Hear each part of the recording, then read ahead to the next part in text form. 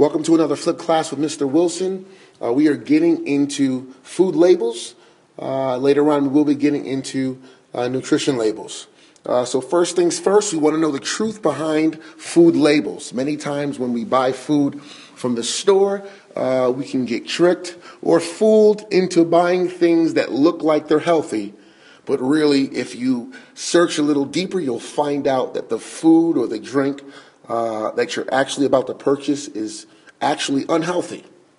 Um, so the first truth behind food labels, okay, is don't be fooled by the big letters on the front of the package. Look for the label on the back instead. As you can see from this fruit juice right here, it says fruit punch, and it's got fruits on the front of the package, which leads you to believe that this might be or is a healthy drink. But when you look at the ingredients and you see things like sweeteners and high fructose corn syrup, you then understand that it's not as healthy as it looks. On the other hand, when you see something that's not as glamorous, Sunny Start orange juice, all right, we see that it contains 100% juice. Uh, the ingredients are apple juice, pear juice, grape juice, uh, and these ingredients uh, are definitely more uh, healthy than those that are in this. So, the first truth that you want to know is don't be fooled by the big letters in front of the package. Look for the label on the back instead. The label will always reveal the truth. Okay, the second truth behind food labels. Okay? The second truth behind food labels. The first ingredient is always the biggest.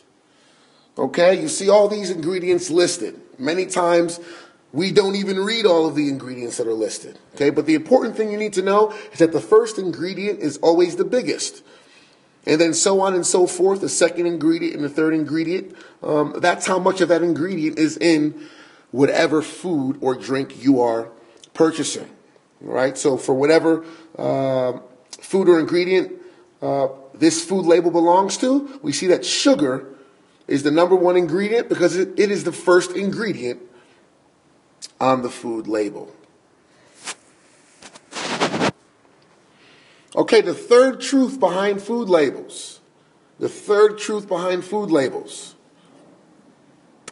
Okay, avoid partially hydrogenated oils, high fructose corn syrup, and artificial flavors.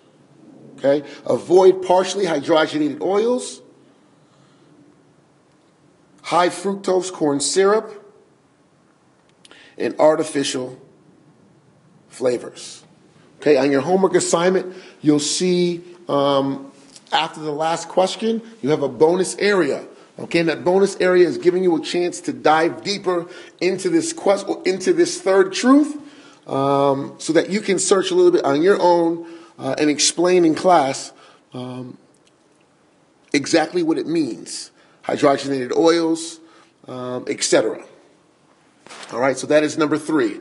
Avoid partially hydrogenated oils, high fructose corn syrup, and artificial flavors. All right, the fourth tr- truth behind food labels, okay? The fourth truth is to make sure that you're avoiding a long ingredient list. Extremely long food labels usually means the product is unhealthy and it is a bad choice. Okay? So when you see a food label that has all of these ingredients, okay, and especially a, a majority of the ingredients, it's hard for you to pronounce, it usually means that that is an unhealthy choice. Okay? But if your food label is short, okay, and you can actually pronounce all of the ingredients with ease, it is usually a better choice as far as food and drink. So those are the four truths concerning uh, food labels.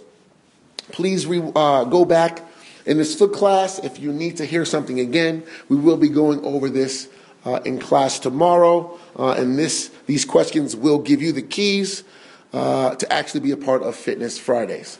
Um, those that complete the bonus question at the end have the opportunity to receive uh, some blue tickets uh, for the second trimester field trips. Have a great night, and I will see you tomorrow in school.